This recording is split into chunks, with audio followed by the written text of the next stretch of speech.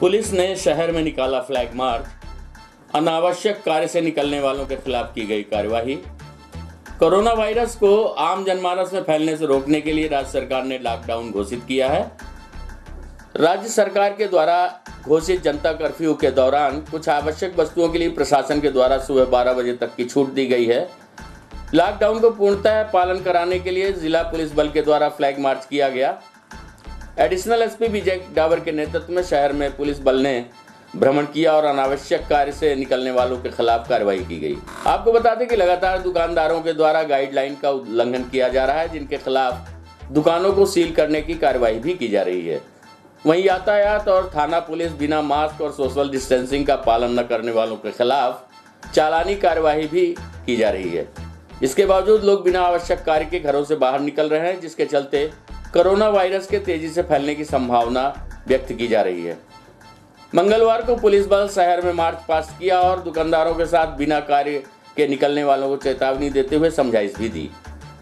आइए इस संबंध में जानते हैं एडिशनल एसपी श्री विजय डावर से प्राप्त जानकारी के अंश।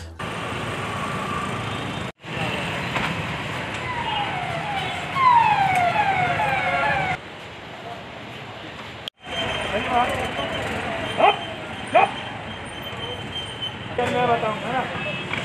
और ना आप बता रहे हो हम बता देंगे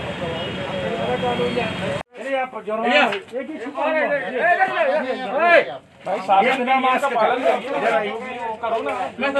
इसका मास्क कहाँ है? लॉकडाउन का पालन कराने के लिए बारह बजे के बाद में छूट प्रोवाइड नहीं है। बारह के पूर्व जितनी भी जो इसेंशियल सर्विसेज़ की दुकानें हैं वो खुली रहें।